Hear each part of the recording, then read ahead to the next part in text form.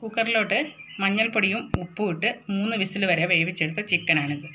ഇത്തിരി ഉപ്പ് ഇത്തിരി മുളക് ഒരു സ്പൂൺ മുളക് പൊടി രണ്ട് സ്പൂൺ ചിക്കൻ ഫ്രൈ മസാല ലേശം മഞ്ഞൾപ്പൊടി ഒരു സ്പൂൺ കുരുമുളക് പൊടി ഒരു കളറിന് വേണ്ടിയിട്ട് ഇത്തിരി കാശ്മീരി മുളക് പൊടി മഞ്ഞൾ സോറി ഇഞ്ചി വെളുത്തുള്ളി കറിവേപ്പില ചതച്ചത്.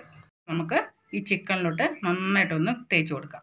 അതിലെല്ലാം കൂടെ നമ്മൾ ഒരു രണ്ട് സ്പൂൺ വെളിച്ചെണ്ണ ഒഴിച്ച് നന്നായിട്ടൊന്ന് മിക്സ് ചെയ്ത് വെച്ചിട്ടുണ്ട്. അത് നമുക്ക് ഈ ചിക്കനിൽ നന്നായിട്ട് തേച്ച് കൊടുക്കാം.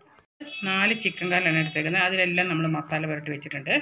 ഇരിക്കുന്ന എണ്ണയിലോട്ട് നമുക്ക് ഇത് ഫ്രൈ ചെയ്യാം. മറിച്ചിട്ടു. ഇത് അധികം വേവേണ്ട ആവശ്യമില്ല. നമ്മൾ കുക്കറിൽ വേവിച്ചുകൊണ്ട് പെട്ടെന്ന് തന്നെ നമുക്ക് തിരിച്ചിടാം.